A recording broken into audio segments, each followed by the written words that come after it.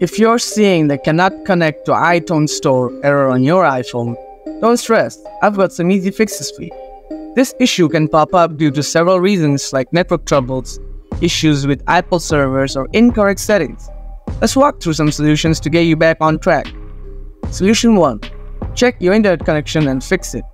First, enable airplane mode on your iPhone. Wait for a few moments, then turn airplane mode off. Also, make sure your iPhone is connected to a stable Wi Fi network or has cellular data turned on. If you're on Wi Fi, you might want to restart your router. Solution 2 Set date and time to automatic. Open Settings, then scroll down and tap General. Next, scroll again and tap Date and Time. Make sure that Set Automatically is turned on. Solution 3 Sign out and back into your Apple ID.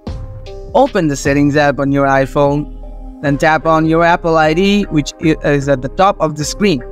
Next, scroll down and tap Sign Out. Now restart your iPhone.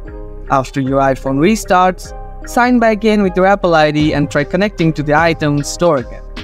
Solution 4 Reset Network Settings. To do this, open Settings, then scroll down and tap General. Next, scroll down and tap Transfer or Reset iPhone. Tap Reset, then select Reset Network Settings. Be aware that this will reset your Wi-Fi passwords and cellular settings. By following these steps, you should be able to fix the cannot connect to iTunes Store error on your iPhone. If this guide helped you out, let me know in the comments below.